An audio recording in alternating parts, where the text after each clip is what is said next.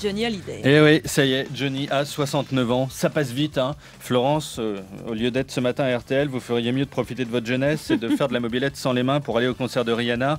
Valérie Quintin, puisque vous savez précisément où sont planqués les 2 mètres carrés de soleil qui en France depuis 7 mois, vous seriez mieux sur la plage à siffler des bières. Ouais. Caroline, avec votre voix, vous devriez embaucher à la SNCF. hein. C'est peinard. À chaque TGV qui arrive, il suffit de s'excuser pour le retard. Oh, excellent. Vous le faites bien.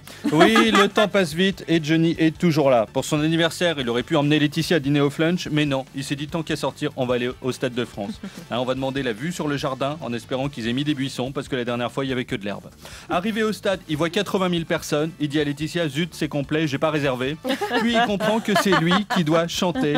Pendant des mois, il ne fait rien et il faut qu'il bosse le jour de son anniversaire. Pas de bol. Johnny au stade, ce sont des chiffres délirants. 30 chansons, 400 litres de sueur, 12 serpents tués pour fabriquer ses bottes. Une Laetitia qui recompte les bifetons et passe commande directement sur 36.fr.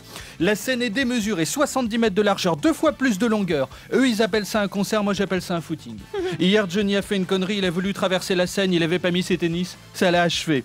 Le seul moyen de le remotiver a été de lui dire que Delajou l'attendait dans sa loge avec des pinces. Johnny a dit ok, j'y retourne.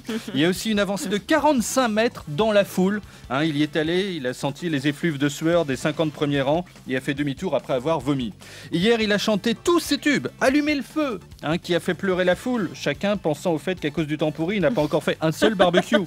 Il n'a malheureusement pas chanté son meilleur titre, Optique 2000, hein, une chanson poignante qui parle de la presbytie. Ah, c'est ça. Alors, les concerts de Johnny sont divisés en trois parties. Oui, une partie rock, hein, une partie acoustique, donc Johnny s'assied sur un tabouret où sont plantées des seringues de PO, et une fois qu'il est relancé, il tourne dans une grande roue à hamster en bavant avant d'entamer la partie symphonique. Alors anecdote, hein, l'orchestre est mené par Anne Gravouin, la femme de Manuel Valls, qui, soulagement, ne s'est pas occupé des costumes, sinon ils finissaient tous habillés comme au mariage de Tata Huguette, avec des cravates blanches du sentier. Alors hier, tous les amis de Johnny l'ont appelé pour son anniversaire. hein. Julien Drey, pour lui dire qu'il organisait une fête rue Saint-Denis. Strauss-Kahn, pour lui dire 69 ans, c'est super, 69 c'est mon numéro fétiche. Laetitia, pour lui demander mon loup, c'est quoi déjà ton numéro de carte gold? Oui, Johnny a déjà 69 ans, ça passe vite, alors je vous laisse parce qu'il faut que j'aille profiter de la vie. Florence, je peux prendre votre mobilette? Bah, évidemment, sans Oh, les mains par contre. hein. Ah Oui, évidemment. Merci beaucoup, Tanguy Pastureau. RTL Matin,